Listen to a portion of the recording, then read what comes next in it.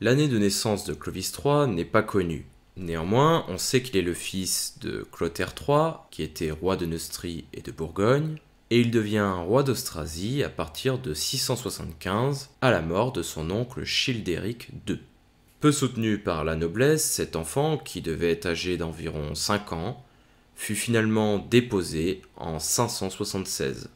Les vassaux décident alors de faire revenir Dagobert II de son exil d'Irlande et de le faire roi d'Austrasie en 676. Dagobert II est le petit-fils de Dagobert Ier.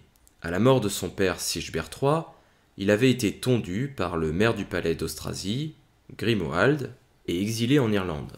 Il est finalement rétabli en 676. Dagobert II se méfie énormément des maires du palais, et il décide de supprimer à son maire du palais, Pépin de Herstal, le droit de gouverner à sa place. Cette politique suscite un complot instigé par le maire du palais, Pépin de Herstal, qui va faire assassiner le roi Dagobert II lors d'une partie de chasse en forêt. Dagobert II meurt le 23 décembre 679.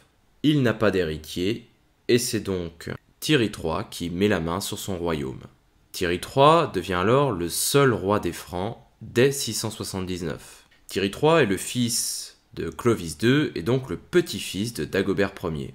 Durant son règne, Thierry III devra composer avec les deux maires du palais puissants de l'époque, Hébrouin et Pépin de Herstal. À l'époque, Hébrouin possède le véritable pouvoir, mais les Austrasiens s'opposent farouchement à ce maire du palais. Pépin de Herstal décide de se révolter contre le pouvoir royal.